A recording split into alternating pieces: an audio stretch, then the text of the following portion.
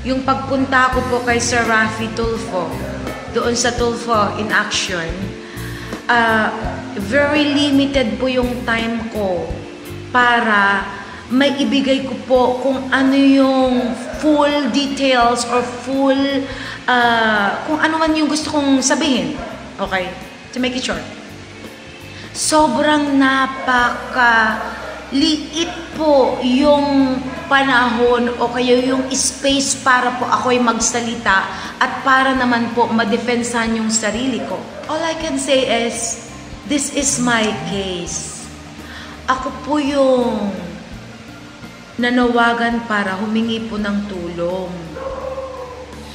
Nanawagan po, lalong-lalo na po sa uh, Rafi Tulfo in Action I was there para mabigyan po ng hustisya kung ano po yung kailangan ko para mabigyan po ng justice kung ano yung pinaglalaban ko. But then at the end, I realized that I was trapped And then hindi na ako makapagsalita kung anong gusto kong gawin because I was being controlled. Gusto ko pa sanang sabihin kanina na paano nga pala kung sakali man nagpadala yon si ninyo ng negative result. Pero you you don't know kung pero ito napaghandaan niya mapaghahandaan niya ng ilang araw hindi katulad sa akin na right after I was interviewed, I was there already having my own drug test. Kaya iniisip ko, is this really right? Pagkatapos, ha? Nag, sorry po siya, nag-apologize siya. Ganun lang kadali kayo, mga anak, kung kayo, mga kapatid, mga sisters, brothers, or kung sino pa yung mas nakakatanda sa akin, kung kayo ang nasa sitwasyon ko, pagkatapos yurak-yurakan yung pangalan yung na and then, they're still all, scattered everywhere. So bakit ako papayag? Eh di ang tanga ko na isang basa lang na hindi ko alam kung siya bang sumulat noon o hindi. Hindi ko alam kung galing ba sa puso niya hindi. I didn't feel the sincerity at all. Ang isang tao na nagsasali, trying to justify him or herself sa isang korte, hindi kailanman niya binabasa yon dahil galing sa puso yon. But after I heard Barsaga over the phone, I didn't feel a sincerity. Eh kung ganun lang pala kadali, map- ma- mapatawad ako ng isang mistika, well, if I would be in his shoes, ganyan na lang lagi ang gagawin ko. It's not only pertaining for myself, but for everybody else na kaya kong ibuli. Kaya nga po nung sinabi ko kanina na itong fight na ito, I'm not just doing it for me. I have to do this for everybody else na alam ko na marami ring na biktima. Para in case man ako yung manalo, at least masasabi po nila once and for all na mabuti na lang may isang mistika na matapang at ipinaglaban kung ano ang dapat niyang ipaglaban alang-alang sa kanya at alang-alang din sa ating mga naging biktima ng taong ito. Because as soon as I got here, or as soon as I was actually on the way home, ganun pa rin ang banat niya sa ibang mga tao. Well, granted sabihin natin na hindi na siya bumabalit sa akin because natatakot na siya na baka mamaya that's gonna be against him as well kung sakali man nababanatan niya ako ulit. Pero, hindi siya nagbago. At ang isang tao na malakas ang loob na magmura at magmura at magmura and then para sa kanya, it's not a big deal para mag-say sorry. Ang mga kriminal, it's not a big deal for them to say sorry. Kasi alam nila, akala nila, just for saying sorry, it already means mapapatawad na sila. Eh kung ganyan pala ang batas ngayon, all you have to do is just say sorry and then wala na sana tayong mga tao na nasa kulungan. Wala na talaga sana tayong mga tao na mga kriminal na tinatawag ngayon. So, what for na na meron tayong baktas kung it takes only kakapiranggot na sorry, kakapiranggot na ay, na scripted pa. Pagkatapos, all of a sudden, tapos na. Kaya nga ako nahihiya ngayon sa lahat ng mga anak ko.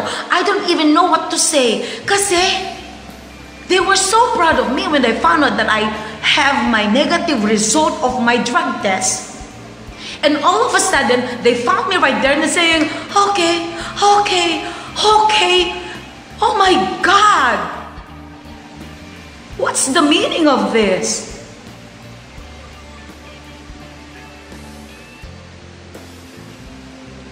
Hindi pa naman siguro ako yung tao na talagang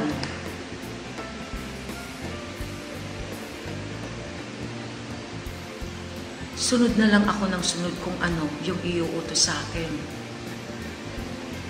Hindi naman siguro ako yung tao na pwede na lang i-manipulate ng ganon para hindi ko mabawi kung ano yung sinabi ko. Anybody is entitled.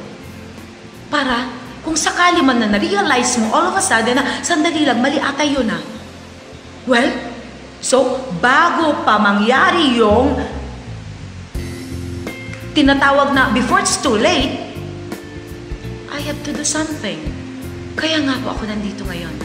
I will have to voice out everything that I really wanted to do because that's the only way that could actually set me free. Otherwise, kung nandun pa rin yung bumabagabag sa loob ko at yun ang pumapatay sa akin,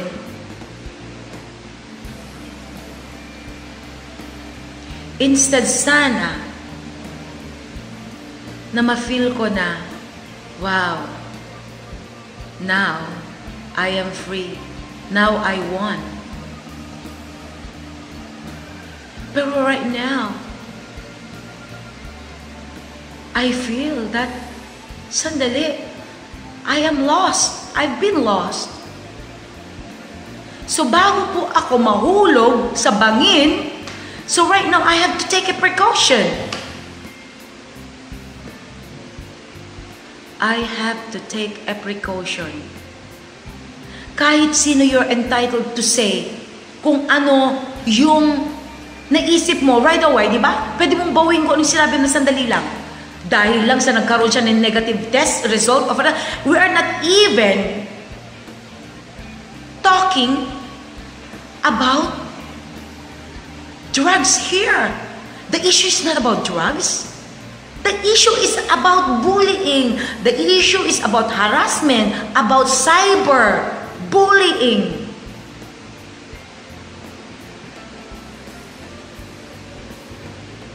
Yun po ang issue.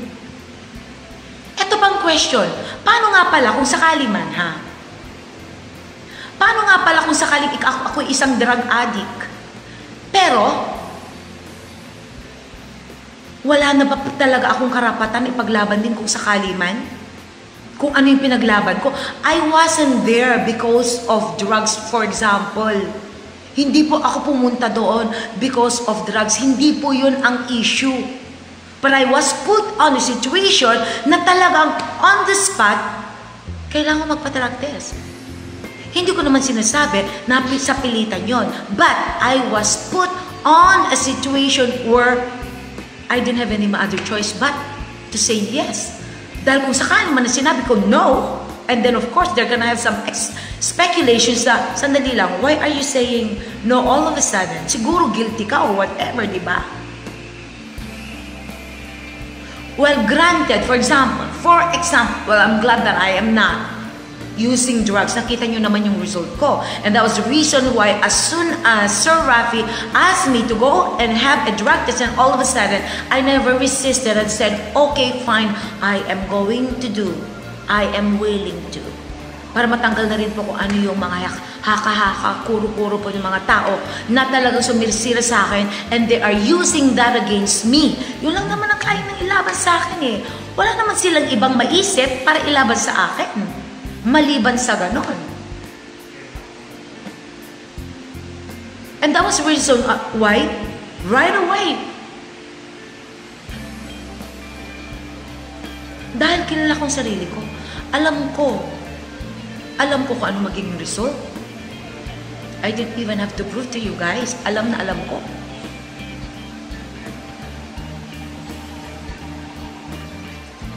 I know that this live video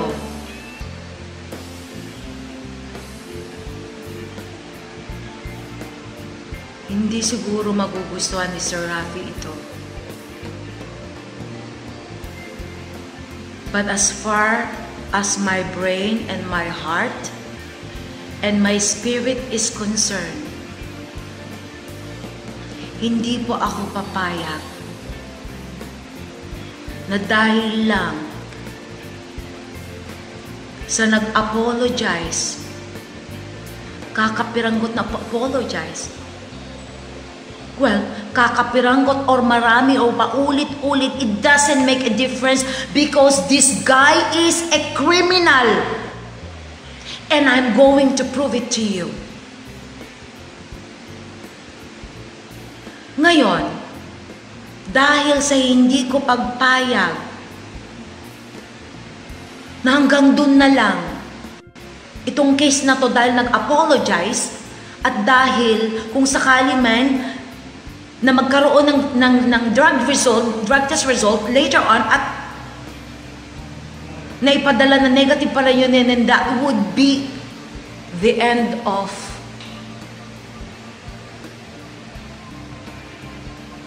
Mystica. Asan na yung pinaglaban ko? Asan yung ini-start ko? Asan yung iniyak-iyak ko? And it really hurt me dahil yung ipinadala kanina ni Andrew Oliver while I was on the way going to Krame, ipinadala niya lahat sa mga mga anak ko, ikinalat pati nasa YouTube na ngayon.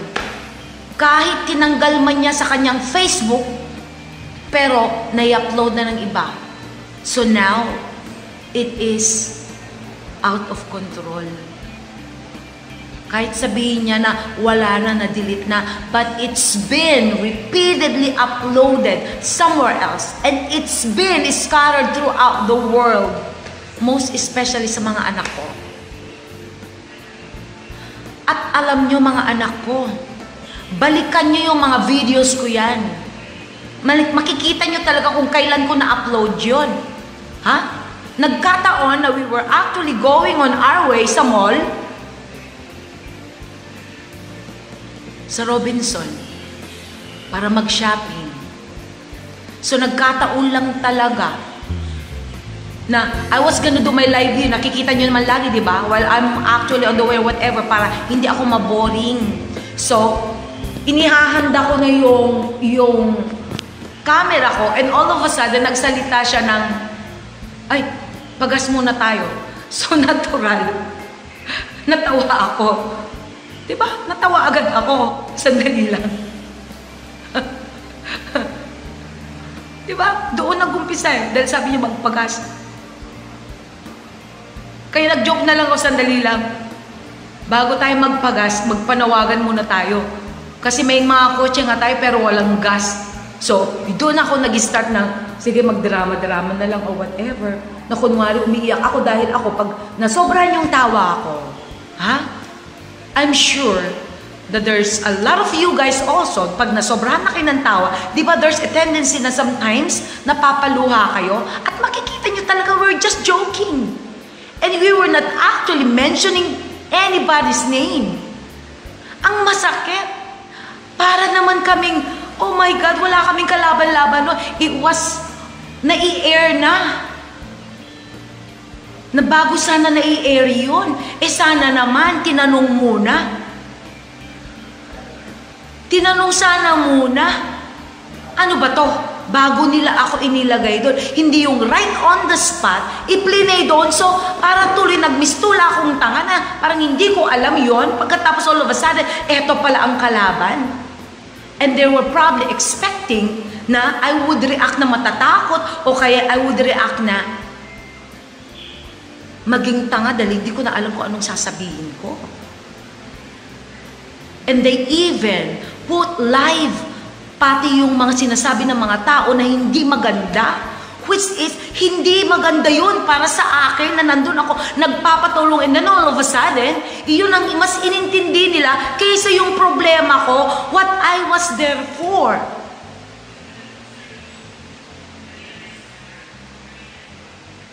Diba? Bakit ako nandoon? It was because kung ano yung issue ko. Hindi yung kung ano yung bagong nakita nila doon na wala naman silang pruweba na that was intended para pagtawanan sila.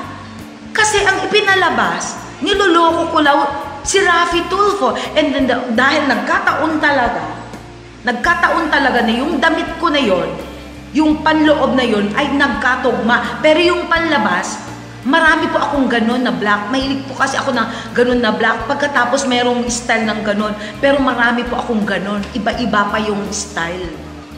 Kaya akala tuloy nitong si Bar Barsaga, akala niya siguro, pare-pareho na yung damit ko, hindi na ako nagbibihis. Na kung ano daw yung damit ko, right at the time na nagbigay ako ng sentimiento o nagbigay ako ng live video that night before I went to Ravi Tulfo. And then sabi niya, ang baho-baho niya, hindi daw siya nag, hindi daw ako nagbihis. Well, as you can see, ano ang kulay ng damit ko at that time? Ha? Yung gabing yon black and white yung blouse ko. At iba yung nakatakip dito na merong ano dun. Dahil marami akong ganun. Iba lang yung style niya dito. At yung ginamit ko doon, iba rin yung style. Diba? But that's not even the issue right now. The issue is, ipinalabas ba naman nila na right on the spot na nagmukha akong gago, nagmukhang tanga, para bang mas lumala tuloy kung ano yung ano ni Drew. Kaya hindi ako pumayag kanina-kanina na na aalis na lang ako na hindi ko na-justify yung sarili ko. Kaya challenge ko na I want to show it right now. Right now. Kasi parang na-accuse na talaga ako na, wow, ito na yung, andun ako nagpapatulong and all of a sudden, yun ang isasampal sa akin bigla. Ang sakit nun ah.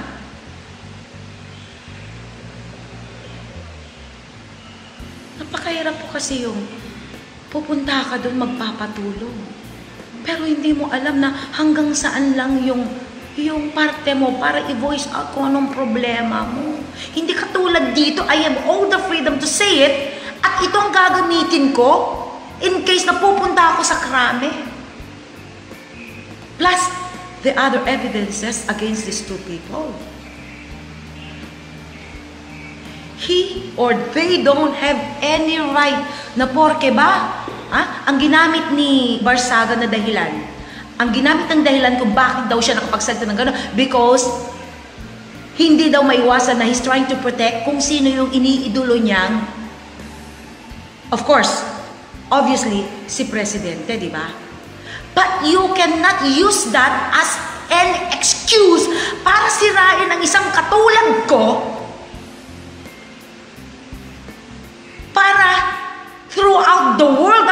makakakita para imalay yung reputation ko. He has no right. And all of a sudden, dahil natakot siya na baka mamaya, ha? Because ang libel itself, cyber libel itself, it takes 8 years na makulong plus penalty kung magkano yung nawala sa akin or magkano yung nadamage sa akin. And as you can see, hindi ako nakatulog. Ang dami rin akong nawalang mga tentative na mga bookings, mga ano, nag-back out because what it cost. Supposedly, mag-a-attend pa ako ng isang December 5 at 7. Nakita nyo dun sa tentative ko. but those have been canceled. Dahil mas inintindi ko po ito, itong oras na igugugol ko dito sa laban ko. Para paano pa na nag-iyak, iyak, iyak, iyak, iyak ako? Para at the end, sinabi lang na, oh, I'm sorry dahil pinaglaban ko lang ng magsasaya. So now I am entitled to say bad things about you? At tanggalan niya yung pagkatao, tinanggal niya yung karapatan ko bilang babae na akala mo, pag ikaw mismo, lahat ng mga kababaihan, take a look kung ano ngayon yung mga nandyan mismo sa YouTube. Mas dumami pa. Kung kayo ang nasa sitwasyon ko, mga babae rin kayo, may mga anak na babae, meron kayong mga magulang na babae, meron kayong mga relatives na babae. Pagkatapos isang taong katulad niya, na mas masahol pa sa isang hayop o demonyo dahil lang isang tao walang ganong puso. Meaning to say, meron siyang puso na hindi makatao, hindi makademonyo. I know that this is going to create a controversy. It might be the biggest controversy. As you can see, number two trending throughout the world. Ang case ko, makikita nyo sa YouTube. Number two, trending. Nag-umpisa sa number six, number four, number three, and then now number two. Nag-trending. Meaning to say the whole world was watching Mystica on Tulfo. Diba? What did I do this for? Para lang sumikap lang doon, para lang magpa-trending. And all of a sudden, dahil ito, itong tao na nag-as ng sorry, and then all of a sudden, I was left with nothing. Ganun na lang ba? So ngayon, kung palulusutin ko siya, how about yung next na magrereklamo? I didn't even realize that as soon as I got out of that room, may isang nagrereklamo din pala about him. Pero hindi siya na-entertain. I don't know why.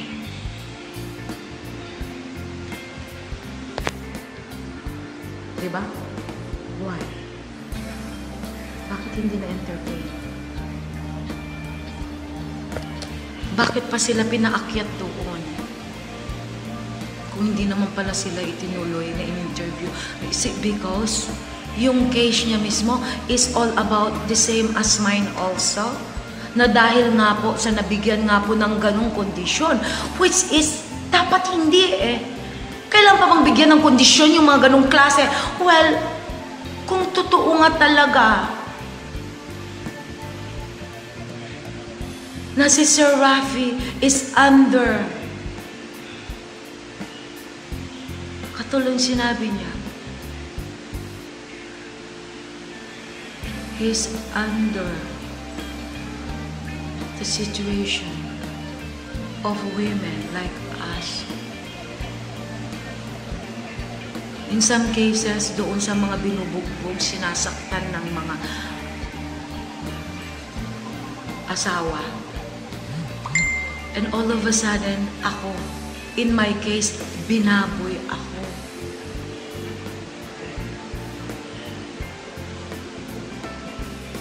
Kung sakali man kukuha ako ng isang lawyer para ipagtanggol ako, para ipanalo yung case ko, papayag ba talaga siya? Nasa isang kakapiranggot na salita lang, kung ilang sentence lang yun, at hindi ko pa na-feel yung sincerity niya dahil hindi ko alam kung sino ang gumawa nun.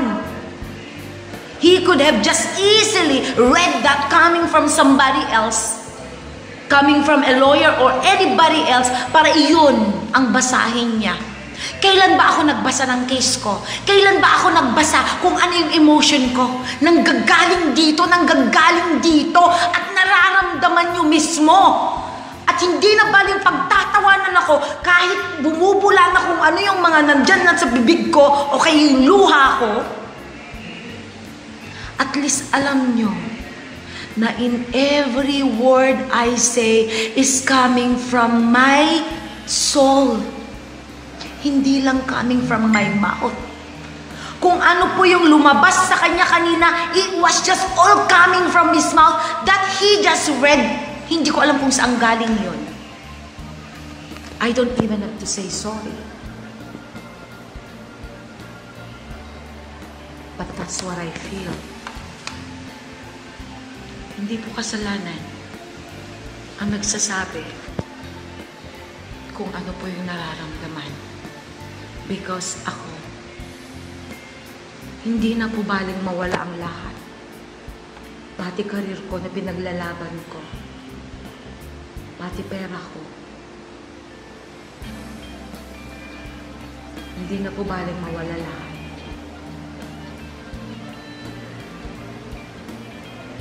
May paglabang ko lang po yung karapatan ko. Kaya nga po ako lumapit kay Sir Rafi because I was expecting kung ano po yung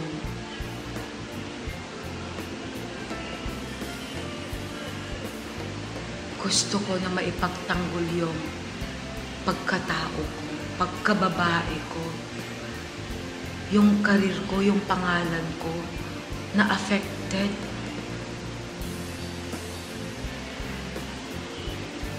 Pero kakapiranggot na gusto ko pang sabihin kanina, wala na pong oras. Is this just for a show?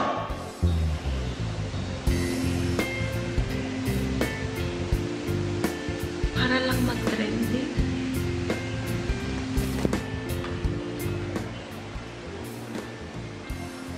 Hindi niyo po ako masisisi kung bakit po ganun ang naramdaman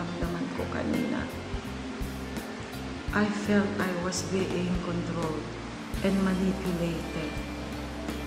Para bang naisabit yung malangal ako na hindi ko man lang maibigkas kung ano pa yung gusto kong sabihin. Gusto ko pa sanang sabihin na paano yung mga nagkalat sa YouTube, paano yung ganito, ganyan, paano kung sakali man, eh, pwede niyang suhulan, pwede niyang bayaran yung tao kahit sabihin mo na is a legitimate place para kunin yung kanyang drug test. What do you think?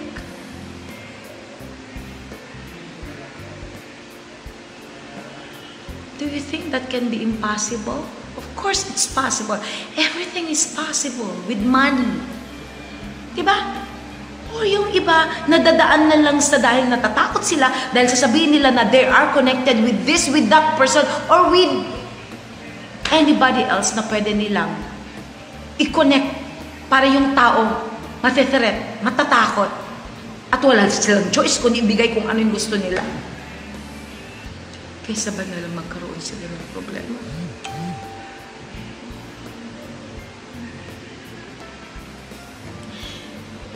Umiyak ako doon sa mga panawagan ko. Umiyak ako dahil yun ang na-feel ko in order to justify myself one by one by one, hindi ako nagkulang kung ano yung explanation ko. Naisama yun pati yung gas. Kahit balikan nyo po yung explanation ko doon na yun ang naging dahilan kung bakit nag-start itong si Drew Oliver para ibas ako because it all started with the gas joke. Pagkatapos sasabihin nila na yun ay lumabas lang right after we got out from that place na galing kami sa Tulfo in action na parang pinagtatawanan na lang namin na there, nandun kami, umiiyak ako. And all of a sudden, lumabas na kami, and then here we are na nagdadrama-drama na. Wow! Am I that stupid para gawin ko yon?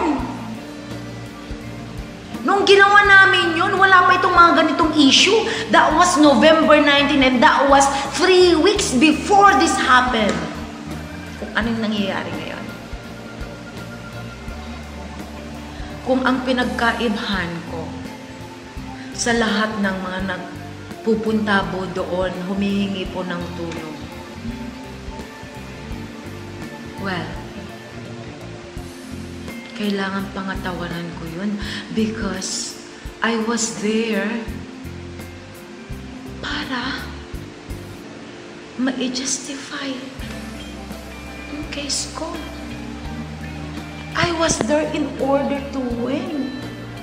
Pagkatapos all of a sudden, here I am. Pagkatapos niyang nagbigay ng kanyang apology, and all of a sudden, sumang-ayon na lang ako ng sumang-ayon, ng sumang-ayon, ng sumang and then yung drug test is not even related kung ano po yung ikino-complain ko. That was just something para maging fair naman na ako kinunan ng drug test pagkatapos siya hindi. Well, in fact, dalawa kami dito na inform in this issue. So, di ba? Mas maganda na dalawa kami dapat dito. Dahil of course, pati yung mga anak ko din. Nagsabi sila na, Mami, bakit, bakit hindi rin siya ipadrag test para maging fair? Bakit ikaw lang? O, di ba? Hindi ko tuloy alam kung anong sasagot ko sa mga anak ko. Nahihiya ako. Dahil sinabihan talaga na, Mami, akala namin matapang ka. Mami, akala namin pumunta ka doon para tulungan ka. Mami, di ba nandun ka in order to win?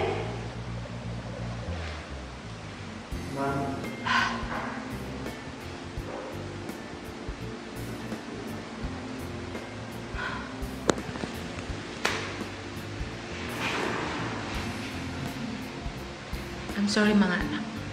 I didn't mean to let you down. If you felt that I was going to let you down, sorry. Okay? Pero hindi pa huli ang lahat. Dapat sa akin ang final decision. It's not them. It's not their program. Ako, pumunta pa ako doon humingi ng tulong para ako po ay mabigyan ng justice kung ano yung pinaglalaban ko. Hindi yung ganun na lang kadali. Nabibigyan ng isang condition and all I can say is yes or no.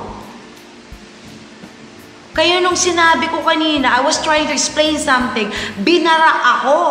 So, I was left with nothing. Diba?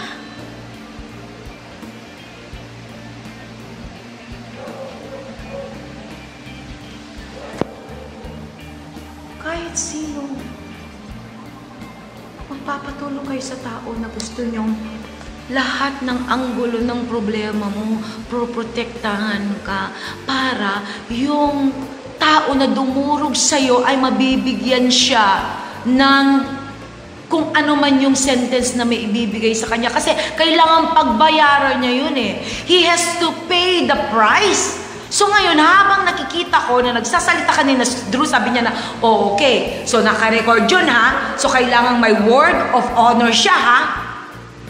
Wow! So ibig sabihin pa, dahil lang sa word of honor, dahil sinabi ko kanina, pero hindi galing sa akin yun. I was just asked kung ano yung magiging condition. Well, in fact, yung condition niyo yun ay supposedly na para maging fair naman, bakit hindi nyo rin siya bigyan ng ano, para at least malaman din ng lahat kung siya ay nagdadrag din o hindi. But, supposedly, hindi yun yung magiging dahilan na totally deleted na lahat kung ano yung problema ko. Ganun lang ba kadali? Niyo ba kung ano yung pinagdaanan ko for the past few days? Kung paano ako nadurog, nakita niyo ba yung mga, andyan oh?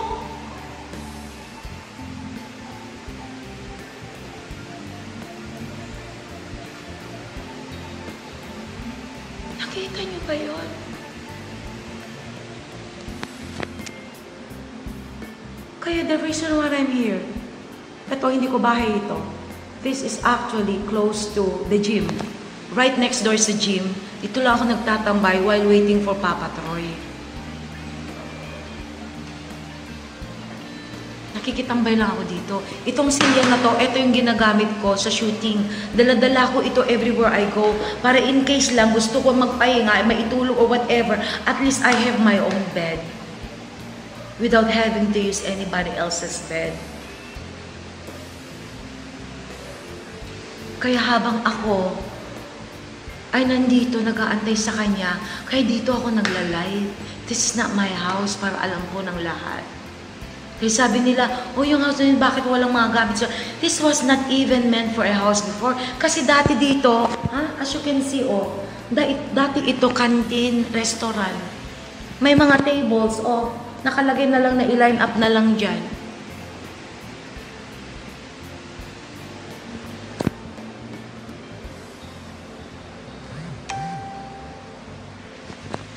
Mga anak, sabi niyo sa akin, tama ba? Tama ba yung ganon na bigla akong sinabihan na, okay, this is the case. This is the condition. Kung sakali man na pagbibigyan mo si ninyo ng pagkakataon na mapakinggan kung ano yung apology niya, automatically na sinasabi mong patatawarin. Kailan ba nagkaroon ng ganun? Diba? Kailan ba nagkaroon ng ganung situation? Kaya nga sabi ko kanina, kailangan mapakinggan ko muna kung ano yung i-explain niya, kung paano nga niya aaminin yung pagkakamali niya, kung paano nga niya i-justify, kung paano, bakit niya ako ginanon. At yun ang gusto kong marinig kanina. But I was being stopped.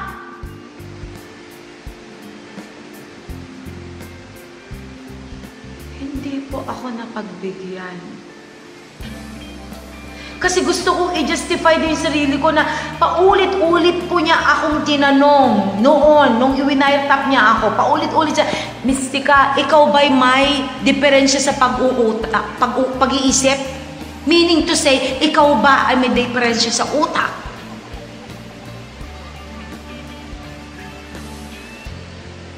So I was gonna ask him the same thing. Kaya nabanggit ko na, yung ginawa mo sa akin, palagay mo ba'y gawain yun ng isang normal na tao? Gusto kong marinig yun eh. Dahil walang normal na tao na makakagawa ng gano'n na ginagawa niya. Na parang ginawa na lang niyang hobby, yung manira ng buhay ng ibang tao, pagtawanan para lang meron siyang mga audience para manood sa kanyang live, para maraming magla-live, maraming mangbabas or whatever.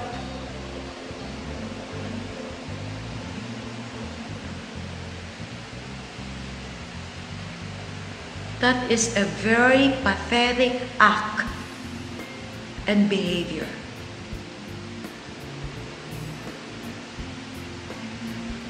Mas masahol pa yun sa gawain ng isang abnormal. Gusto kong malaman yun sa kanya because he actually asked me the same question and I actually gave him a straight answer and I said no dahil ang isang tao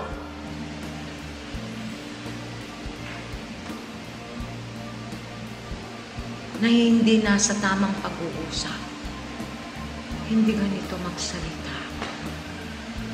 Ang isang tao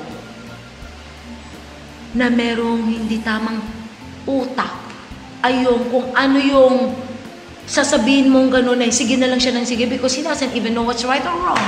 Diba? Ayun, ang tao na wala sa utak.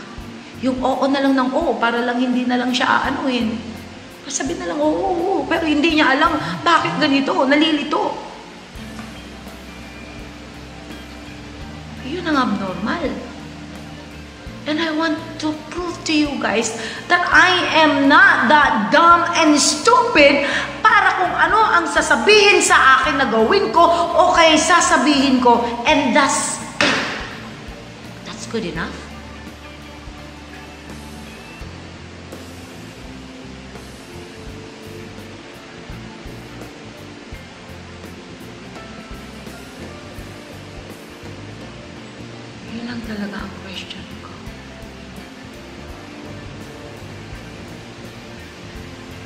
Is this really for real? Or is this just for a show?